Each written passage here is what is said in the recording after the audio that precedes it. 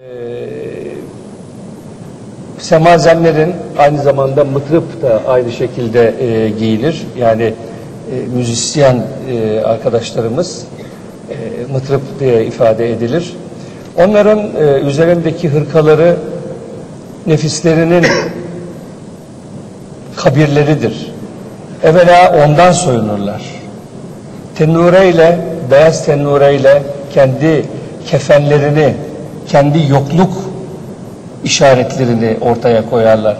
Başlarındaki e, sikkeler nefislerinin mezar taşı olarak algılanması icap eden sembollerdir.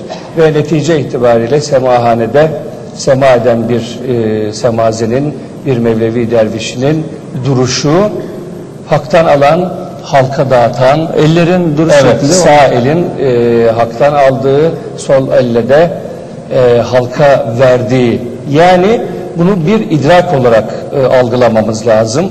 Cenab-ı Hakk'ı algılayan, kendi varlığındaki Cenab-ı Hakk'ı var, e, algılayan kişinin o algılama gücüyle, o enerjiyle, o feyizle diğer insanlara da elini uzatması olarak algılamamız lazım. Evet. Sevgili izleyenler, Affedersiniz şunu da e, il- ilave etmeme izin verirseniz. E, burada belki arkadaşlarımız o kadarını gösterme e, vakit itibariyle fırsatını bulamayacaklar. E, semahaneye gelindiğinde sadece bundan ibaret değil. Aile şerifi kemal olarak düşünecek olursak bir naat-ı şerif okunur evvelinde. O meti peygamberidir.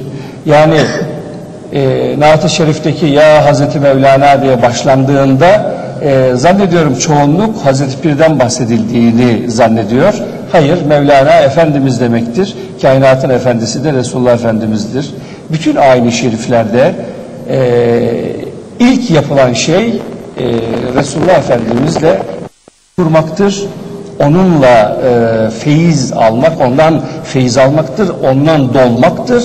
Zaten ondan gelen Muhammedi enerji feyiz olmaz ise algılama gücümüz hiçbir şeye yetmez. Yetmez.